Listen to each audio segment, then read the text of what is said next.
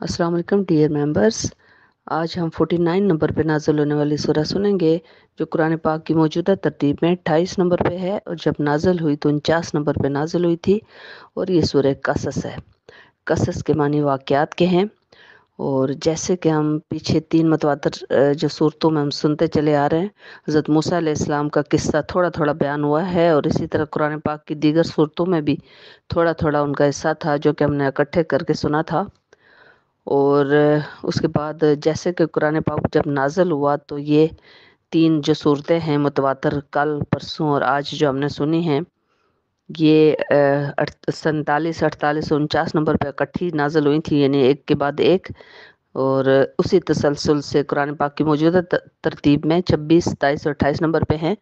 और हरूफ मकातात उन्हीं से स्टार्ट हो रही हैं, यानी कि एक जो थी वो तासीन मीम से स्टार्ट हुई थी, दूसरी तासीन से और तीसरी तासीन मीम से। तो इनका जो स्टार्ट की आयत है वही आयत है कि तिल का आयातुल किताबुल मुबीन। ये आयात ऐसी किताब की हैं जो अपना मुद्दा साफ़ साफ़ बयान करती है। अब इसके शुरू में हज़रत मूसा इस्लाम के वही जो किस्सा है जहाँ पे रह गया था, वो अल्लाह ताला ने इन आयात में भी बयान फरमाया है और हमने चूँकि इकट्ठे सुना था और जो जा, कुछ रह भी गया हो, हमने सुनने से रह गया हो, तभी आप इस सूरत में सुन लेंगे इन हज़रत मूसा इस्लाम का किस्सा सुनाने के बाद अल्लाह ताला फरमा रहे हैं कि, ए मोहम्मद, आप तो उस टाइम वादी तूर की मगरब जानब मौजूद नहीं थे ना, जब हज़रत मूसा इस्लाम को तो नाजल की जा रही थी? तो आप ना ही उन देखने वालों में, यानी जिनके सामने वो नाजुल हुई थी और हज़रत मूसा लेकर आए थे नीचे,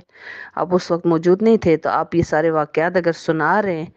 जो कि ये लोग नहीं जानते कि किस तरीके से वो वहाँ पे क्या बात हुई थी और किस तरीके से नाजुल हुई थी, ये बातें तो नहीं जानते ना यहूदी तो ना ईसाई।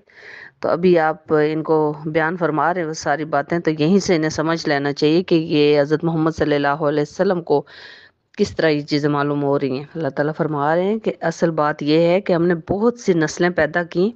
उसके बाद भी बहुत सी नस्लें पैदा की हज़रत मूसा इस्लाम के बाद भी, और एक तवील ज़माना गुजर गया, और अल्लाह ताला फरमा रहे हैं कि उन अहल मदीन के दरमियान कोई भी ऐसा ना नाजल किया, यानी ऐसा पैगंबर नहीं गुजरा बाद में, जो उनको पढ़ कर हमारी आयात सुनाता, जो कि कुरान पाक के ज़रिए अभी सुनाई जा रही हैं। क्योंकि हमें, ए मोहम्मद, आपको रसूल बनाकर भेजना था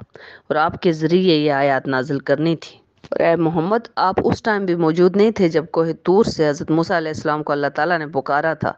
लेकिन आपको ये गैब की खबरें इसीलिए दी जा रही हैं कि अपने अल्लाह ताला की रहमत की वजह से आपको सुनाई जा रही हैं ताकि आप मुतनबा कर सकें, आप ख़बरदार कर सकें उन लोगों के पास, यानी मक्का के लोगों के पास जिनको कि ख़बरदार करने के लिए कोई नहीं आया था। फिर अगली आयत में अल्लाह ताला अपने प्यारे नबी से फरमा रहे हैं कि बिलाशुबा मोहम्मद, आप किसी को भी हिदायत नहीं दे सकते जिसको भी चाहें उसको हिदायत नहीं दे सकते, जब तक कि अल्लाह ताला ना चाहे। अल्लाह हिदायत देता है जिसको चाहता है और वो खूब जानता है हिदायत पाने वालों को। ये कि कौन से ये जो आपके सामने मक्का में बेशुमार जो लोग हैं, इनमें से कौन को अल्लाह ताला, किन किन को हिदायत देंगे अल्लाह ताला? अल्लाह ताला अपने प्यारे नबी से फरमा रहे हैं कि मोहम्मद मोहम्मद, ये जो मक्का के लोग हैं, ये बातें कर रहे हैं कि अगर हमने पैरवी इख्तियार कर ली इस दीन की तो और हिदायत जो आप लाए हैं इसकी अगर हमने पैरवी इख्तियार कर ली और ये हिदायत इख्तियार कर ली तो हम उचक लिए जाएँगे इस सरजमीन से, यानी हमें अपनी ज़मीन से उठा लिया जाएगा।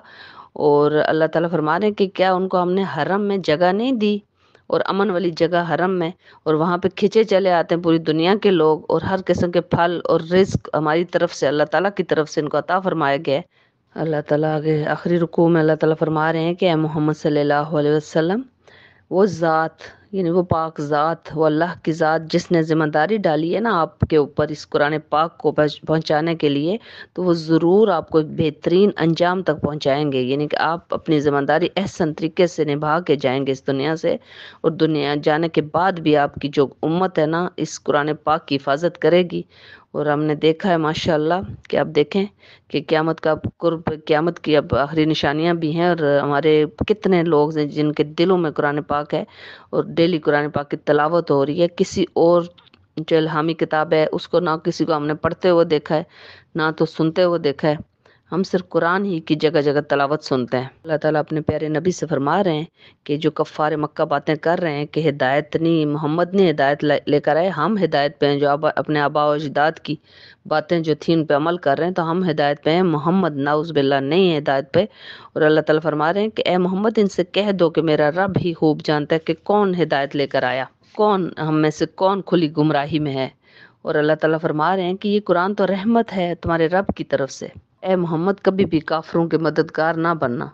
और काफर आपको कभी भी रोकने ना पाए। यानी आप अपने अटल जो आपने फैसला किया हुआ है, अल्लाह ताला ने आपको जो तोहीद का हुक्म दे रखा है कि शिरक से रोकना तो आप और बुराई से रोकें और अच्छाई का हुक्म दें और आप इस काम से रुकने ना पाए